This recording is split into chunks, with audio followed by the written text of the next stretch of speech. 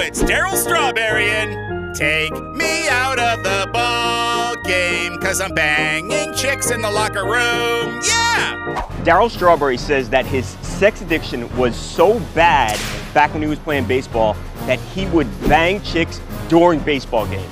What?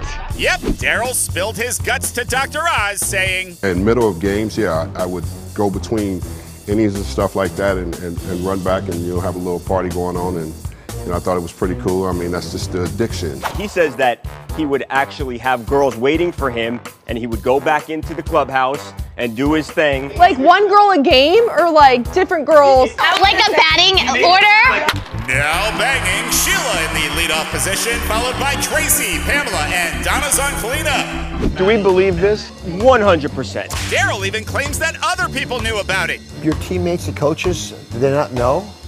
Well, some of them covered for me. It was pretty cool. Wait, I mean, he said cool? Yeah, multiple times. Didn't that kind of like ruin him? Oh, the drugs mostly. Yeah,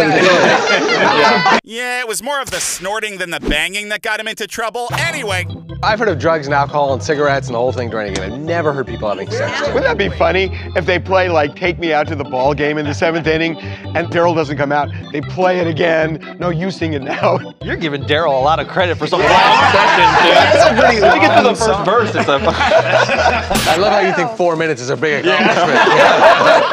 he does sex bad. So thanks, Darryl. You're a good multitasker. We're TMZ. If you like our vibe, click on that button and hit subscribe. We'll send you more.